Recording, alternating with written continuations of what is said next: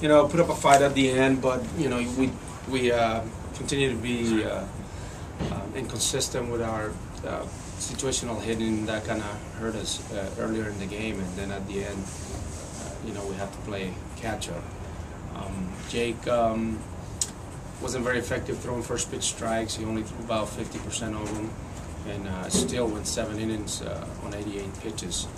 They're very aggressive, swinging team, and, and, you know if you make your pitches early in the count, uh, you can have some success. But he wasn't able to get ahead to utilize his slider and his changeup, and I don't think we helped him uh, defensively either.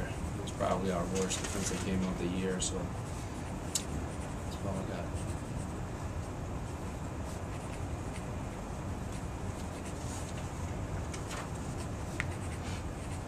Frustrating not to take advantage of anything. Not frustrated. Baseball never frustrates me. No, that's right. Don't use that Um, word. Don't use that word with me, please. um, yeah, they- Disappointing. They lose early, yeah, they lose Yeah, earlier than it's you guys. disappointing because um, uh, that's the game plan for every team every day.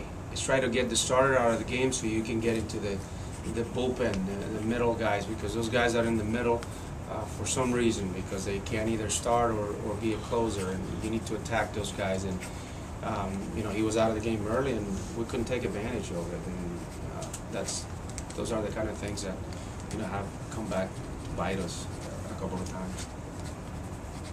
Nate, is it surprising when a starting pitcher gets ejected? Can be any time but that early? Um, well, it's, it's part of the game. It's it's just uh, depend on the situation, and I think uh, you know there are certain plays where the umpires uh, they don't allow that much argument for him. You're not supposed to, to argue certain plays, and you know, it was the second time, so that's irrelevant to me. I mean, it's the Indians, but we couldn't take advantage of it.